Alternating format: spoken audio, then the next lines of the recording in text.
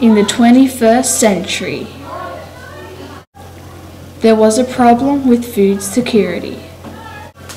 Who stood up to this challenge? Problem solving farmers.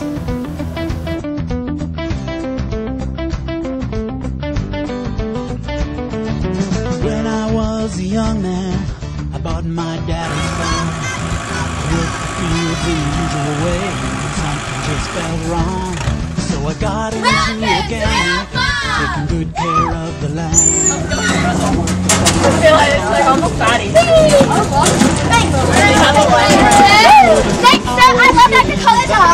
Way to be. We're organic meadow farmers, an organic family. From the soil to the table and every step along the way. We're working for tomorrow in everything we do today. Okay, have fun. Okay. All right, put it down.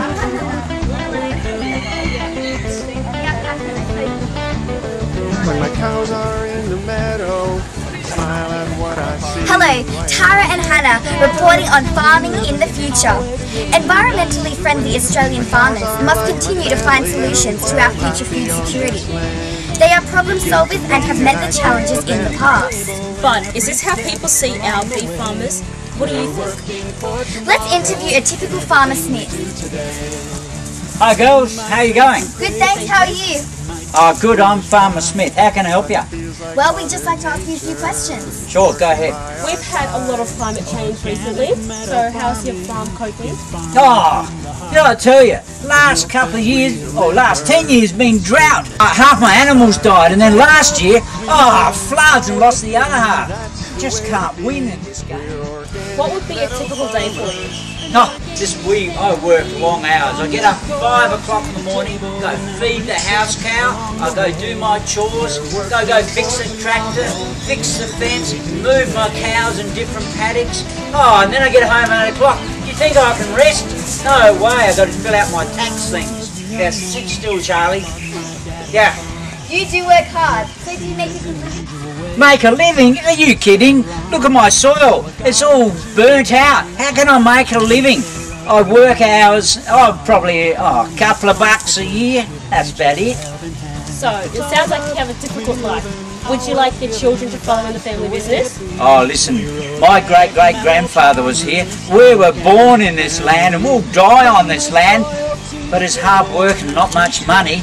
I don't know, is there a future in ag? I wish there was. This is how people perceive farmers, but this stereotype is not the reality today. Let's say bye to Farmer Smith, and now we will interview Alison, who owns her own beef farm. Over to you. Hi, I'm Tara, and this is Lauren, and we're here live with Farmer Alison. So, Alison, could you tell us a bit about your farm? Sure, yes. Um, I farm beef cattle in southern New South Wales, a little town called Crookwell. Uh, we have 500 uh, Black Angus cows on about 3,000 acres. So, how did you start working in the beef cattle business? I've been there for a long time, so I'm a fourth generation farmer. So my grandparents grandparents started the farm, and it's something I think that's that's in my blood. Yeah, we we're very passionate about the country and rural life and the beef cattle industry. Are there any careers for women in the beef cattle industry? I'm a lady, obviously, in the beef cattle industry. There's a multitude of jobs. When I left school, I went to university and I did a degree in agricultural business. Since then, I've worked in a range of areas. Um, I've worked in Sydney uh, for a big company called Meat and Livestock Australia. I've worked um, for government organisations.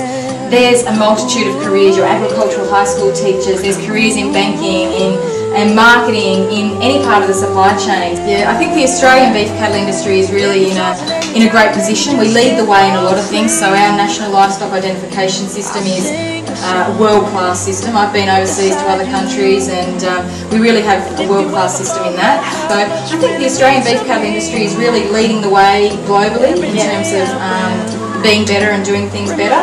And in terms of feeding the world, I mean, that's what farmers do. We feed the world, and the world population is growing, and there's different markets emerging um, globally across across the world. People are eating more beef. People are enjoying beef. We're doing more research into how people can utilise uh, beef into their daily lives. Well, thank you everyone for coming. Um,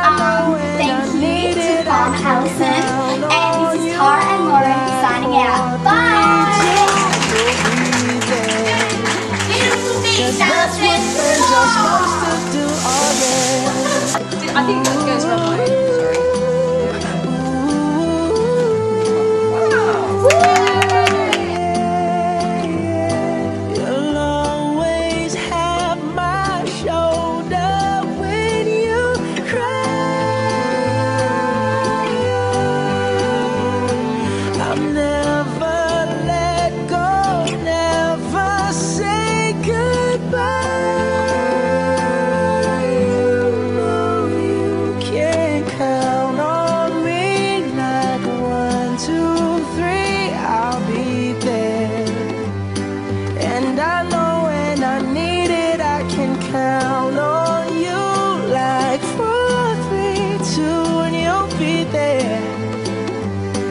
Cause that's what friends are supposed to do, oh yeah.